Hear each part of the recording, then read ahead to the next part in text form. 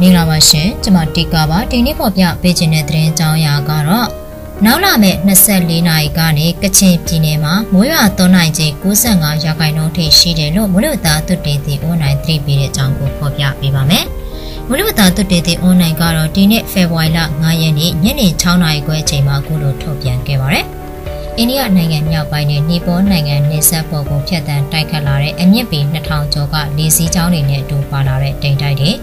ဘင်္ဂလားပင်လယ်အော်ထဲမှာဖြစ်ပေါ်နေတဲ့ညာရဲ့လေဖိအားများရှုံရဲ့လေစီးကြောင်းနဲ့မြန်မာနိုင်ငံမြောက်ပိုင်းမှာဖြစ်ပေါ်နေတဲ့လေဖိအားနဲ့ဆဲတွေကြောင့်နောက်လာမယ့်24နာရီကနေ82နာရီတွင်မှာကချင်ပြည်နယ်မြောက်ပိုင်းမြကြီးနားမြို့အထက်မှာရှိတဲ့ပူတာအိုမချမ်းပေါ်နောင်မော်စွန်ပရာပွမ်စားတဲ့မြို့နယ်တွေမှာမိုးရွာသွန်းနိုင်ခြင်းဟာ85ရာခိုင်နှုန်းကနေ95ရာခိုင်နှုန်းထိရှိနေပြီးတော့ 24နာရီကနေ48နာရီအတွင်းမှာမိုးရေချိန်ဟာ10မီလီမီတာနီးပါးကန့်ထိရွာသွန်းနိုင်ကြောင်းတွေ့ရတယ်လို့ဆိုပါတယ်။ကျန်တဲ့ပြည်နယ်နဲ့တိုင်းဒေသအားလုံးမှာတော့နေ့အပူချိန်တွေပြန်လည်မြင့်တက်လာပြီးဖေဖော်ဝါရီလကုန်ရက်တွေထိမိုးရွာသွန်းနိုင်မဲ့အခြေအနေမတွေ့ရသေးဘူးလို့မလို့သာသုတေသီ online ကခန့်မှန်းခဲ့တာဖြစ်ပါတယ်။ဆက်လက်ပြီးတော့ဖေဖော်ဝါရီလ6ရက်နေ့အတွက်မလို့သာခံမှန်းချက်ကိုဖော်ပြပေးပါ မယ်။မြန်မာနိုင်ငံအထက်ပိုင်းနဲ့အလယ်ပိုင်းမှာတော့အနောက်အနောက်မြောက်လေတွေတိုက်ခတ်လာနိုင်ပြီးတောင်ပိုင်းမှာအနောက်အနောက်တောင်လေတွေတိုက်ခတ်ပါမယ်။စောင်းမုတ်တုံအခြေအနေကတော့အနောက်မြောက်လေအေးတွေဟာမြန်မာနိုင်ငံအထက်ပိုင်းနဲ့အလယ်ပိုင်းမှာသာမက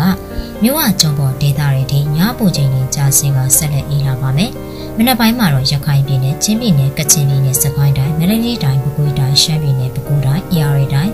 ၊ကရင်ပြည်နယ်နဲ့ထရင်းပြည်နယ်တွေမှာမြို့လူတွေကြာဆင်းပါမယ်။ဘင်္ဂလားပင်လယ်အော်အခြေအနေကတော့ဘင်္ဂလားပင်လယ်အော်တောင်ပိုင်းမှာတိမ်သိမ်းတဲ့ဖြစ်ထွန်းနိုင်ပြီးတော့ ကြံဘင်္ဂလားပင်လယ်အော်နဲ့ကပ်လီပင်လယ်ပြင်မှာတိမ်ငင်းနေဖြစ်ထွန်းပါမယ်။မိုးချိန်တွေဟာကချင်ပြည်နယ်မြောက်ပိုင်းဆုံးမှာတော့နေဟာကွက်ကြောင်မိုးဝဲတွေရွာကျနိုင်တာကအပကြံဒေသတွေမှာတာယာပါမယ်။ဘင်္ဂလားပင်လယ်အခြေအနေကတော့ရခိုင်ကမ်းရံဘက်မှာအနောက်နောက်မြောက်ဘက်ကလေကတော့တနအီကို9မိုင်ကနေ10မိုင်ခန့်ထိတိုက်ခတ်နိုင်ပြီးလှိုင်းသိမ်းတဲ့ရှိပါမယ်။မြဝကျုံပေါ်မုံမကွေးနဲ့တင်းနိုင်ကံရံဘက်မှာတော့အနောက်အနောက်တောင်ဘက်ကလေတွေဟာတနအီကို9မိုင်ကန်တိုက်ခတ်နိုင်ပြီးတော့နှိုင်းသင့်တဲ့ရှိနိုင်တယ်လို့ဆိုပါရယ် ဆက်လက်ပြီးတော့2024ခုနှစ်ဖေဖော်ဝါရီလ9ရက်နေ့ည9:00နာရီချိန်နေ့စဉ်မိုးလေဝသသတင်းကိုဖော်ပြပေးပါမယ်။ဘင်္ဂလားပြည်နယ်အခြေအနေကတော့ကပ်ပလီပင်လယ်ပြင်တောင်ပိုင်းနဲ့ဘင်္ဂလားပင်လယ်တောင်ပိုင်းမှာတိမ်သိမ်းတဲ့ဖြစ်ထွန်းနေပြီးကပ်ပလီပင်လယ်ပြင်မြောက်ပိုင်းနဲ့ကြံဘင်္ဂလားပင်လယ်အော်မှာတိမ်နှင်းငယ်ဖြစ်ထွန်းပါမယ်။ နက်ဗန်မွန်တဲ့ချိန်လေးခံမှန်းချက်ကတော့စကိုင်းတိုင်းဒေသကြီးထပ်ပိုင်းကချင်ပြည်နယ်နဲ့ချင်းပြည်နယ်မှာနေရာကွက်ကြားမိုးတက်ကြုံရပါမယ်။ကျွမ်းရံရနှုန်း80ဖြစ်ပါတယ်။စကိုင်းတိုင်းဒေသကြီးအောက်ပိုင်းမန္တလေးတိုင်းဒေသကြီး၊တိုင်းနိုင်တိုင်းဒေသကြီးရှမ်းပြည်နယ်မြောက်ပိုင်းကရင်ပြည်နယ်နဲ့မွန်ပြည်နယ်မှာတိမ်သိမ်းတဲ့ဖြစ်ထွန်းပြီး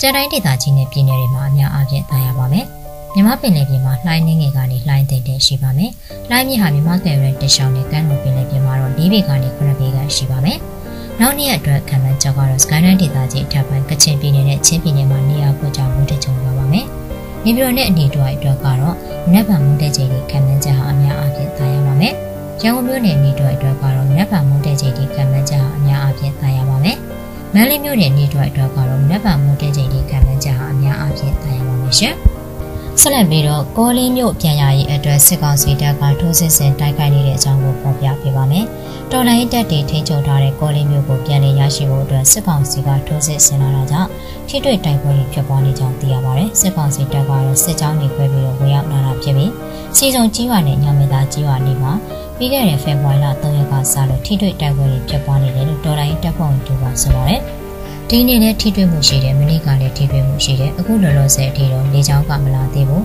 အခုကသူတို့ကထိုးစစ်ဆင်နေတာလို့ဆိုပါတယ်စွစုပေါင်းအင်အား40ခန့် စွစုပေါင်းအင်အား400ခန့်ပါရှိတဲ့စစ်ကောင်စီစစ်ကြောင်းကတော့မွန်းတုံမျိုးမြောက်ဘက်ခြမ်းနဲ့ကမ်ပလူမျိုးကိုရောင်ဘိုးတို့ကနေဝင်ရောက်လာတာဖြစ်ပြီးတော့စီးရေးအခြေအနေတင်းမာနေတဲ့အရှိချောင်းဒေသခံကျူပါဆိုပါတယ်ကောလင်ဘတ်စစ်ကောင်စီစစ်ကြောင်းထိုးလာလို့တိုက်ပွဲပြင်းထန်နေတာဟုတ်တဲ့အချိန်လေးကတော့စစ်ကောင်စီတွေရှင်းမတွနိုင်ဘူးတိုက်ပွဲကတင်းနေလည်းဖြစ်ပါတယ်။စစ်ကောင်စီတွေမြို့ပေါ်မရောက်လာနိုင်ဘူးလို့ဆိုပါတယ်ဒီစစ်ကြောင်းမှာတော့ကမ်ဘလိုမြို့အမြောက်တက်ရင်6336မှာတော့နေမြေကျွမ်းကျင်ဖို့အတွက်ဆိုပြီးတော့၄ရက်ကြာတင်နန်းယူတဲ့သူတွေကို MI17 ရဟတ်ရင်နဲ့အကြိမ်ရင်30ထဲနဲ့လာရောက်ပို့ဆောင်သွားတဲ့အကြောင်းတော်လိုင်းတပ်ဖွဲ့ဝင်တခြားတူကဆိုပါတယ်သူတို့တိုင်ရင်နှစ်ခုကိုခွာပြီးညှက်တိုက်မဲ့သဘောရှိတဲ့အခုလောလောဆယ်ကောလင်းဘက်ကိုထိုးနေတဲ့စစ်ကောင်စီတွေကအားလုံးကမ်ဘလိုတင်နန်းဆင်းတဲ့သူတွေပဲလို့ဆိုပါတယ်ကမ်ဘလိုမျိုးနဲ့ကိုးတော်ဘုတ်တိုင်တွေကထွက်လာတဲ့စင်ကြောင်းကလက်ရှင်ကောလင်းမျိုးတောင်ပန်လှည့်ပွဲကြည့်ပါနဲ့တရားကုံကြီးဝါမှာရောက်ရှိနေပြီးမိုးတုံမျိုးကနေထွက်လာတဲ့စစ်ကြောင်းကတော့ကောလင်းမျိုးနဲ့ဈေးပြူပင်ကြီးဝါတဲ့အောင်ချမ်းသာကြီးဝါမှာရောက်ရှိနေကြောင်းသိရပါတယ်။ ကောလင်းမျိုးကိုပြီးခဲ့တဲ့2023ခုနှစ်နိုဝင်ဘာလ6ရက်နေ့မှာတော်လိုင်းပူပေါင်းတက်တွေတိုက်ခိုက်သိမ်းပိုက်ပြီးတဲ့နောက်စစ်ကောင်စီကပြန်လည်ထိန်းချုပ်ဖို့နီလန်ပေါင်းစုံနဲ့ကြိုးစားနေတာဖြစ်တဲ့အကြောင်းဒေါ်လာရေးတပ်ဖွဲ့တွေထံကသိရပါဗျ။ ဆက်လက်ပြီးတော့ဘင်္ဂလားဒေ့ရှ်တဲကိုမြန်မာမော်တာကြီးတွေကြားလို့အရက်သားနှစ်ဦးသေဆုံးတဲ့အကြောင်းကိုဖော်ပြပေးပါမယ်။မြန်မာဘင်္ဂလားဒေ့ရှ်နယ်စပ်ဖြစ်တဲ့ရခိုင်ပြည်နယ်မော်တော်မြို့တောင်ပြိုလက်ဝဲမှာစစ်ကောင်စီတပ်နဲ့ရခိုင်တပ်တော်အေးတို့ကြားမှာတိုက်ပွဲပြင်းထန်ရာကလည်းဒီနေ့မှာတော့ဘင်္ဂလားဒေ့ရှ်နိုင်ငံတဲကိုလက်နက်ကြီးကြားတော့အမျိုးသားတအုပ်နဲ့အမျိုးသမီးတအုပ်သေဆုံးခဲ့တယ်လို့သိရပါဗျ။ဖေဖော်ဝါရီလ9ရက်ဒီနေ့မြန်မာအချိန်3:15မိနစ်မှာတော့ဘင်္ဂလားဒေ့ရှ်နိုင်ငံအရှေ့တောင်ပိုင်း ဗန္ဒပန်ခရိုင်မှာရှိတဲ့တန်တီယိုနေလေးကိုဝါတာကြီးကျခဲ့တာဖြစ်ပြီးတော့ဘင်္ဂလားဒေ့ရှ်အမျိုးသမီးတအုပ်နဲ့ရိုဟင်ဂျာအမျိုးသားတအုပ်တည်ဆုံနေတာလို့ဘင်္ဂလားဒေ့ရှ်အာဏာပိုင်တွေကဆိုပါတယ်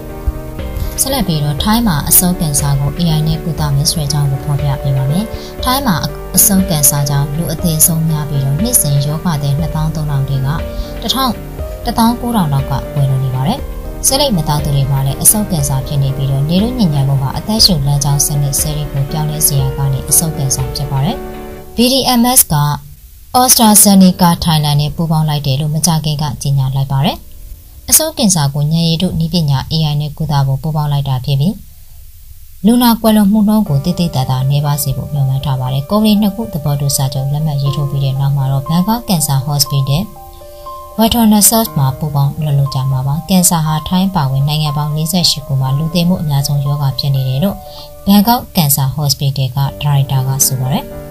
ထိုင်းမှာနှစ်စဉ်ကင်ဆာဖြစ်ပွားသူတသိန်း9000ရှိပြီးတော့နှစ်စဉ်ကွယ်လွန်သူတသိန်း2000ရှိပါတယ်ဒီအတွက်လည်းတနအီတိုင်းမှာကင်ဆာကြောင့်လူ14ရာလောက်ကွယ်လွန်နေတာဖြစ်ပါတယ်သူကတော့ AI ဟာအဆုတ်ကင်ဆာရောဂါကိုစစ်ဆေးတာနဲ့ကုသတဲ့အပိုင်းမှာအဓိကကြားလာမှာဖြစ်ပါတယ်။ AI ကတော့ကင်ဆာကိုစစ်စောစစ်စစ်သိနိုင်မှာဖြစ်တယ်လို့ဆိုပါတယ်။ အဆာဆနီကာထိုင်နိုင်ရဲ့ဥက္ကဋ္ဌကတော့တင်းငယ်တဲ့အစုံ